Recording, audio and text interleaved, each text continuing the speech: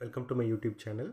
So in this video, we'll see about how to load a data from an XML file into a MySQL table using the load data infile statement.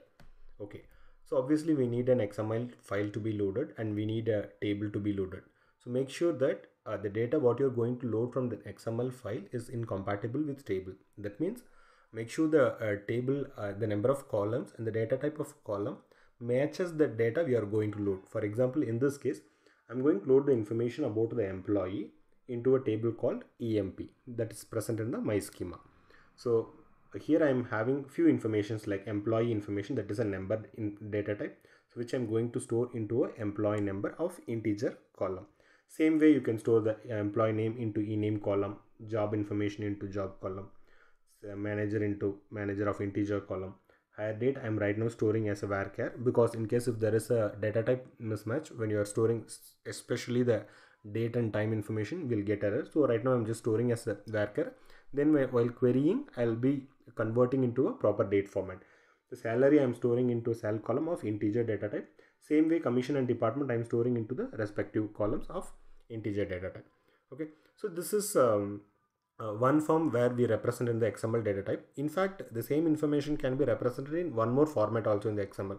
As you can see here, here the informations are represented in the attribute of attribute tag. However, in the previous XML, each and every informations are represented in the individual uh, tag. So here also we uh, in case whatever the uh, type of xml or whatever the format of xml but make sure that the columns wh where we are going to store the information is compatible. So exactly the same thing.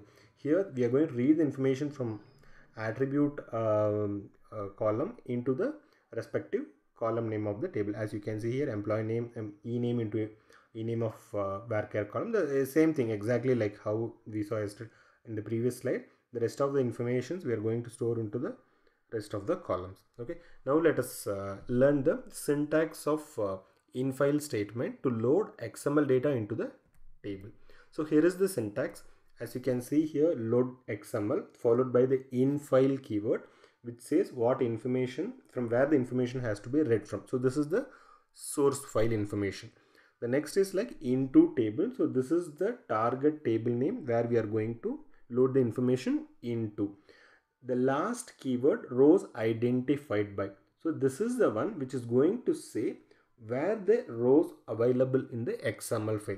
So uh, mysql will read this information as per the rows identified by and all the informations will be loaded into the respective column of the table. Let me just execute and show you for both the type of xml files here as you can see here I have the employee data information in the XML format which we are going to load. So here is the infile uh, uh, load XML infile statement. I'm just copying this. Now what you can do let's just go to our uh, MySQL workbench to just make sure the table is created. Okay. So I just connected to MySQL workbench. I'm just dropping in case if the table was already there. Now I'm just creating the table table is created. Yeah let us just query the information from the table. So obviously there will not be any information in this table. Yes. Okay. Now we can connect to the mysql um, command line and we can execute the load data statement. So i've connected to mysql command line.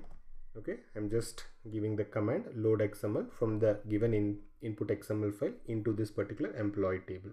Just click enter if you are seeing query ok followed by the number of rows affected that means the informations are successfully loaded into the table. Otherwise we'll get a meaningful error message. Then we can correct based on the error message. Let us just query back from the table. Okay. As you can see here all the information from the given xml are loaded successfully into this table. Now let us execute uh, now let us try to load the information from the uh, second type of uh, xml file okay as you can see here uh, here we have given the xml file in a different format bit different format. The, as the informations are available in the attribute rather than in the individual tag information. Now let us try to uh, load this information. Before loading let us just truncate our uh, table because we have already loaded some information right? So I am just dropping the table. I am just recreating the table. Let me just query the table. Okay right now uh, no data are there. Let us just connect to the mysql uh, client. Okay i've connected. I'm just giving the um, load xml infile statement. As you can see here now we are loading a uh, the second uh, xml where the informations are available in the attribute um, xml uh, fields right? So i'm just click enter. Yeah as you can see here the informations are successfully loaded because we got the um, meaningful message like query okay 14 rows affected. Now let us query back from the table. Yeah all the information from the uh, given xml are successfully loaded now thank you for watching. Stay tuned for more updates. Please share your comments